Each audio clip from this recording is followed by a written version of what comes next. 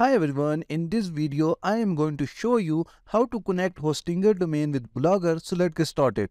So this is our Hostinger domain and today we are going to connect this domain with this blog. So at first you need to log into your Blogger account as well as your Hostinger H panel and from the Blogger dashboard just click on settings and from here scroll down to publishing section. So here it is and then just click on custom domain.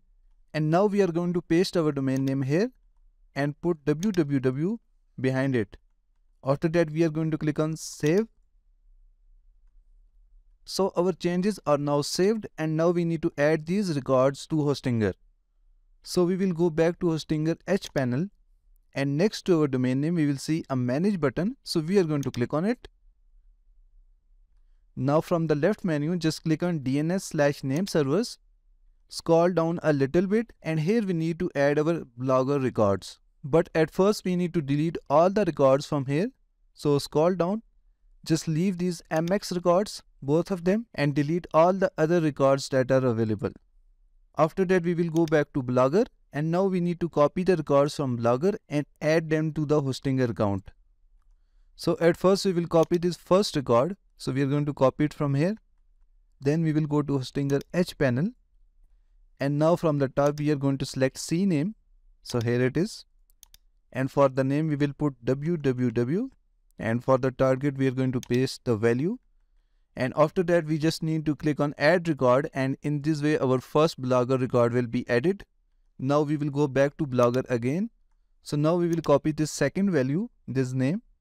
And then we will go back to hostinger h panel. Then again we will select CNAME and then for the name we will paste this value and for the target we will copy this value destination one and paste it here. And after that we will click on add record. So in this way this record will also be added. So these are both the CNAME records that we need to add to the Hostinger H panel. And now we are going to copy this link from here and paste it here and visit it after that, we will scroll down to step number 3. So here it is. So now we need to add these four A records to our Hostinger domain. So we will copy the first one from here and then we will go back to Hostinger H panel and for the type we will select A and for the name we will leave it as it is and in the points to tab we are going to paste this value and then we will click on add record.